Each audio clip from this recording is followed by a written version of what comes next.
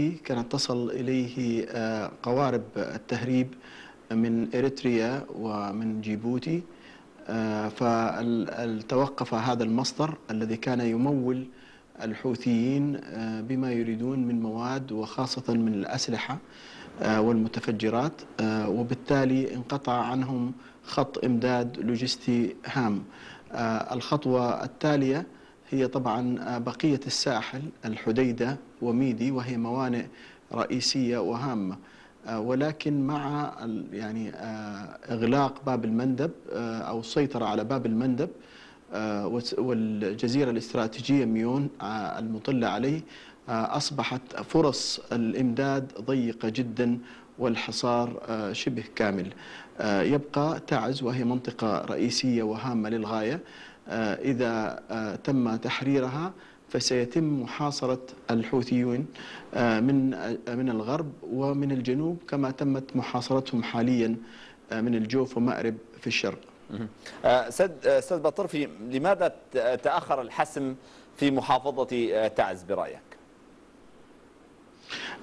مدينة تعز مدينة كبرى هي أكبر حتى من صنعاء في تعدادها السكاني وفي تنوع جغرافيتها. الإشكالية هنا أنها تصلها الإمدادات من كل ناحية. مفتوحة على البحر على الجنوب على الشمال على الشرق وبالتالي من الصعب جدا القضاء على الحوثيين فيها ومحاصرتها بشكل كامل. الآن بدأت الخطوات الحقيقية للحصار والتي ستمنع عملية إعادة الإمداد. في السابق كان كلما استطاعت قوات التحالف أن يعني تهلك معسكرا أو عددا من القوات في في تعز يتم إمدادهم بالمزيد من المناطق الشمالية.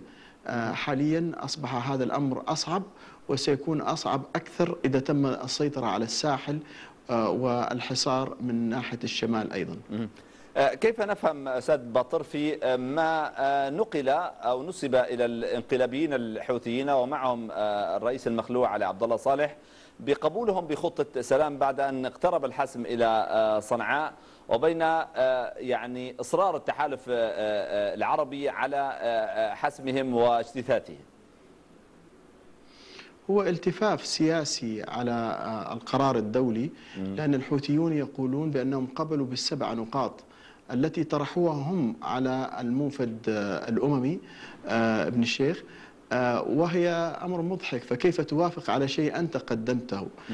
ثم يماطلون من من بالإصرار على وضع آلية تضمن اولا مشاركتهم في الحكم ثم يتم مع الذين أو مع المجموعة التي يتم تأليفها لإدارة الحكم وضع آلية للتنفيذ.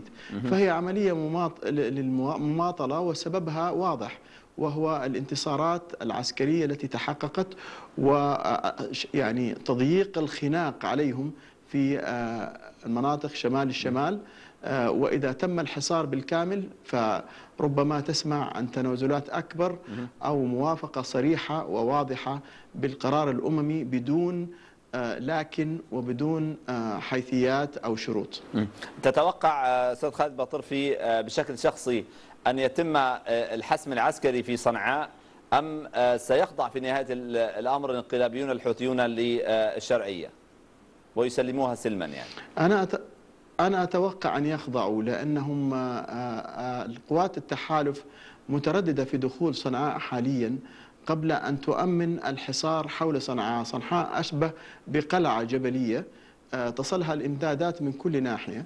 فإذا استطعنا أن نحاصرها تماما ونقطع تواصلها مع صعدة فسيسهل سقوطها. الشيء الثاني الذي يجب أن يؤخذ بالاعتبار هي القبائل. حول صنعاء. هذه القبائل ولاءها متقلب. فإذا استطعنا كسب ولاءها فسيكون السقوط محتوما. وإذا لم يتم كسبها فستكون هناك مخاطرة كبيرة في الدخول على حساب الخسائر البشرية العالية. فهذا ملعبهم وهي منطقة جبلية وعرة آه، وفيها مخازن أسلحة آه، وأنفاق تحت الأرض و آه، يعني خطط مرسومة شكراً. لمواجهة أي دخول للتحالف شكرا جزيلا لكم أستاذ خالد باطرفي الخبير العسكري كنت معنا من جدة في المملكة العربية السعودية. يعقد مجلس النواب الليبي المنتخب جلسة اليوم يناقش خلالها الأسماء المقترحة لتشكيل الحكومة التي أعلنها المبعوث الأممي ليون كما يناقش مجلس النواب مقترح تشكيل المجلس الأعلى للدولة ومجلس الدفاع والأمن القومي.